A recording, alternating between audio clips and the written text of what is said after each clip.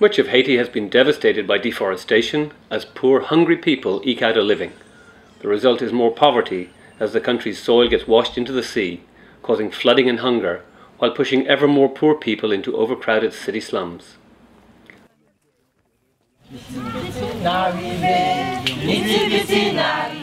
Little by little, many hands can make a difference. This community near Petit Goave was racked by tension over access to water. But a locally driven initiative to combat these problems is getting trees back on the mountains and leading by example.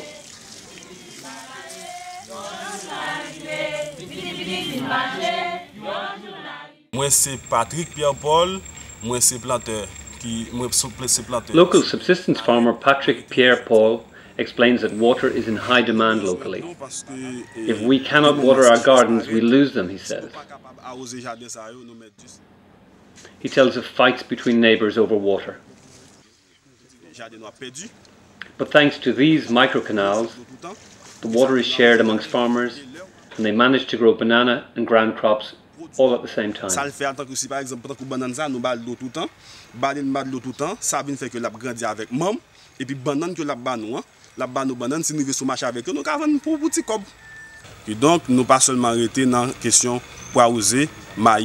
Mayi, tan ko outrefwa, men kou nou la nou fe plus bagay ki don gen plus ki rentre.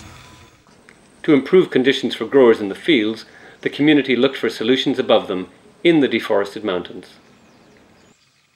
Mwen se Bigo Israel. Igor Israel explains how the community sat down with international experts who helped create nurseries and design forestry management systems. He says that the past five years have brought great improvements.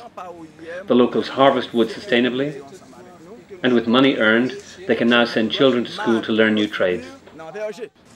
Workers at this nursery grow many varieties of fruit and forest trees for food, lumber, and fuel. Over one million trees have been planted so far, and the community says they can already see the difference. The nursery and the reforestation of the region all have long lasting impact. He says that the past five years have brought great improvements. The locals harvest wood sustainably, and with money earned, they can now send children to school to learn new trades.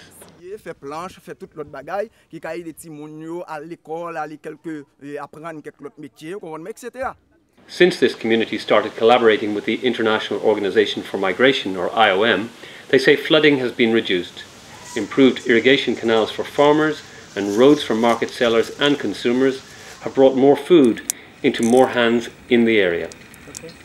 The trees are already thriving, and in a few years they will provide food and fuel, and with careful local management, Petit Goave will again have a tropical forest.